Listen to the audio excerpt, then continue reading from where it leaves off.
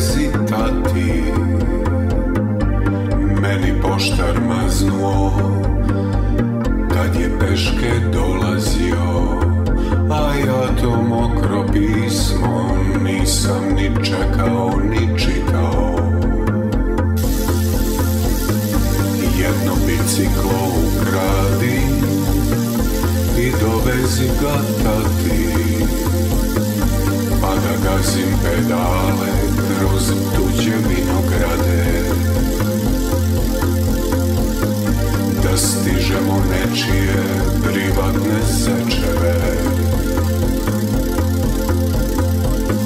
I uz brdo da gazim električno. A ti mi greješ leđa dahom mlečnih zuba letnjih dana što će za tebe da svanu. Jedno biciklo ukradi Pa dovezi tati.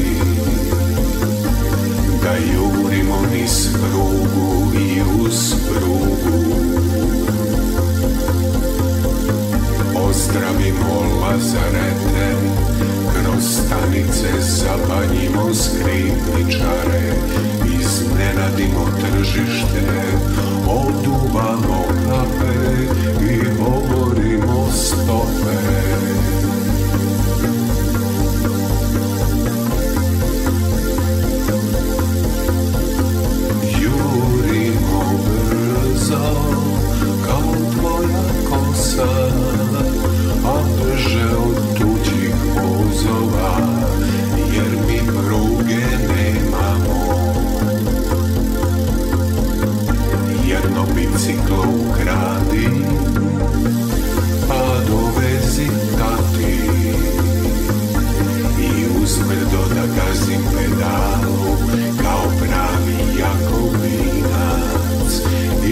se smeješ planinaru Kao prava ptica.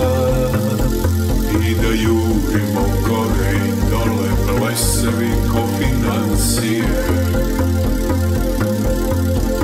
Da ispratimo voz skroz do Simplona i Gotarda.